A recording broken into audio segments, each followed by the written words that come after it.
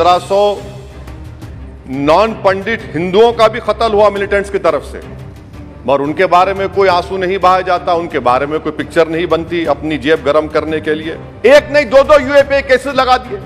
आप बोलते हैं हम दिल और दिमाग को जीतना चाहते हैं। अब कहाँ दिल और दिमाग को जीत रहे हैं आप? और सर, हैरत की बात यह है कि कश्मीरी पंडित के ताल्लुक से बड़े गम और आँसू बनाए, बहाए जाते हैं। मगर 30 साल में एक ही आदमी को कोर्ट ने उसको सजा दी। और विटनेस कौन था? कश्मीरी मुसलमान। Member Shri Asaduddin Owaisi speaker sir आपका बेहद शुक्रिया कि आपने मुझे आज बोलने का मौका दिया।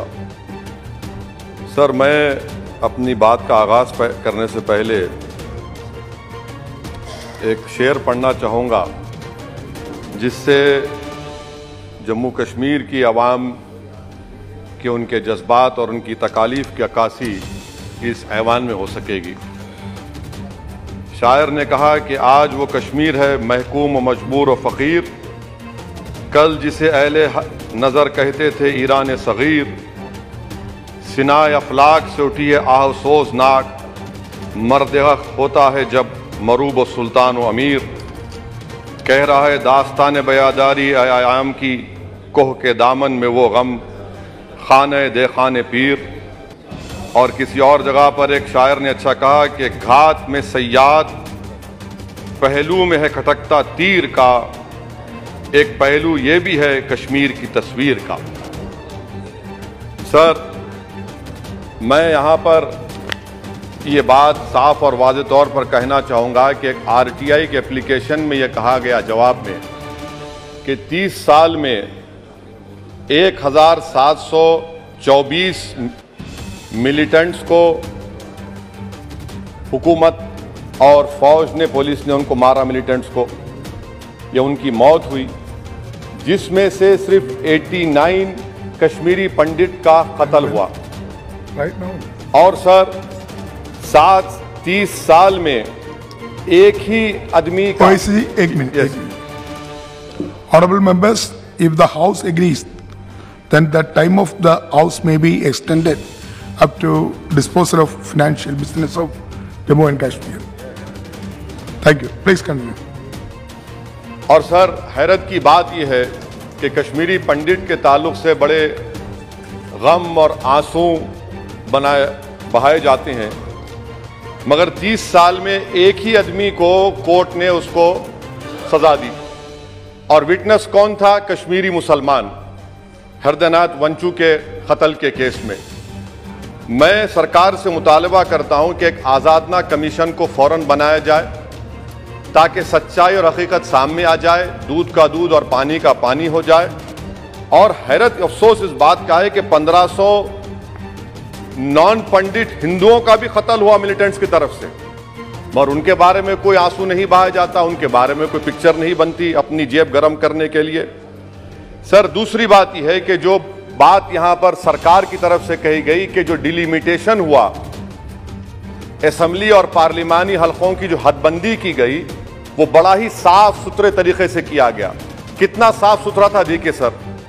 अनंतनाग को उन्होंने मिला दिया पूंछ और राजौरी से इतना साफ़ सुथरा था कि साउथ कश्मीर एक ऐसा इलाका है जो कंप्लीट एथनिकली कश्मीरी है।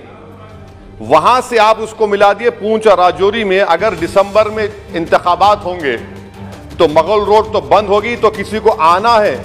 तो डोडा, उधमपुर, जम्मू, पूंछ से उसको आना पड़ेगा। कितने डिस्ट्रिक्ट क्रॉस करेंगे यह आपका साफ़ सुथरा मजाहरा है। तीसरी बात यह है कि, सर, मैं मोहतरमा फाइनेंस मिनिस्टर साहिबा जब जवाब देंगे, उस ऐवान के ज़रिए पूरे मुल्क को बता दें कि आपने दफ़ा 370 को आर्टिकल 370 को हटाने के बाद आपने कहा था कि हर मर्ज का इलाज हो जाएगा। मर्ज का इलाज नहीं हुआ, मर्ज बढ़ गया। जो मर्ज नहीं था पहले, वो मर्ज बढ़ चुका है। मैं आपके ज़रिए से मोहतरमा फाइनेंस मिनिस्टर साहिबा से जानना चाहूँगा कि इस ऐवान पर आप रख दें कि कितना एक पैसा इन्वेस्ट हुआ नहीं हुआ। एमओयू की बात मत करिए। कागजात तो बहुत निकलेंगे, मगर एमओयू नहीं, बल्कि एक पैसा कितना आपने इन्वेस्ट कश्मीर में करवाया। दूसरी बात यह है, सर, एक तरफ़ सरकार बोलती है हम प्राइवेटाइज करेंगे पूरे मुल्क में एल और सब चीज़, मगर यहाँ पर हॉर्टिकल्चर को पब्लिक सेक्टर अंडरटेकिंग बना दिया गया। जो कश्मीरी अपना सेब बेचता था, आप उसको कह रहे हैं, नहीं, अब हम पीएसयू बना दिए यह आपका साफ़ सुथरा और आपकी राह दिखाता है। पावर आपका बरखी का। आपने उसको सेंट्रल पीएसयू से जोड़ दिया। तीसरी बात यह, सर, आपकी इकोनॉमिक पॉलिसी है क्या फिर कश्मीर के लिए? यहाँ पर एक पॉलिसी वहाँ पर एक पॉलिसी कौन सी कंटिन्यूएशन है? आप तो यहाँ पर एक अपना रहे हैं, वहाँ पर अलग लोग अपना रहे हैं। इसमें कोई इंटीग्रेशन नहीं sir pharma traders pharma traders पर धावे हो गए, रेट पड़ गया। जो सप्लायर्स है, उन पर रेट पड़ गया। टोल पोस्ट खत्म कर दिया आपने। 114 राइस मिल बंद करने के दहाने पर आ गए। इसका जवाब नहीं है सही है गलत है? अच्छा सर, फिर आप देखिए कि एक और बात मैं आपके आपके गोशे गुजार करना चाह रहा हूँ कि इकोनॉमिक डिपेंडेंस आप इतना कर दे रहे कश्मीरियों के ऊपर। यानी आप कल ये बताएँगे तो मैं खत्म कर रहा हूँ सर मैं बत, बत, कल आप ये बताएँगे कि नहीं नहीं हमने तो इतना पैसा दिया था। सर कि आप ये इकोनॉमिक पॉलिसी क्या है आपकी? और अनएम्प्लॉयमेंट कितना है सर कश्मीर में आज? अनएम्प्लॉयमेंट सर आज कश्मीर में 7.2 परसेंट है। ऑल इंडिया पूरे भारत में ज़्यादा अनएम्प्लॉयमेंट है। तो तीन सौ सत्तर निकाल के आपने क्या किया सर? अनएम्प्लॉयमेंट वहाँ और बढ़ गया। अच्छा सर ये और एक बात आपसे कर जे की आईडीसी सर ये जे की आईडीसी ऐसा आपने एक एक एक, एक शैतान को बना दिया आपने वहाँ पर। एक शैतान को क्रिएट कर दिया आपने जे के। आईडीसी को और ज़मीन किसी की भी ली जा सकती है पुलिस साथ रहेगी। और उसके फैसले को कोर्ट में चैलेंज नहीं किया जाएगा। ये जमहूरियत है ना जमहूरियत में गलत फैसला को कोर्ट में चैलेंज करेंगे। माने ज़मीन किसकी भी ले लेंगे पुलिस का ऑफिसर साथ देंगे। तो इसीलिए सर हम ये कहना चाह रहे हैं कि हर एतबार से आपने वहाँ पर कोई गलत पॉलिसी की और अखलाकी तौर पर, आईनी तौर पर कन्वेंशन जो है यह बजट को यहाँ नहीं डिबेट करना चाहिए। इस बजट को तो वहाँ के मुंतखब शुदा अवामी नुमाइंदों को बहस करनी चाहिए।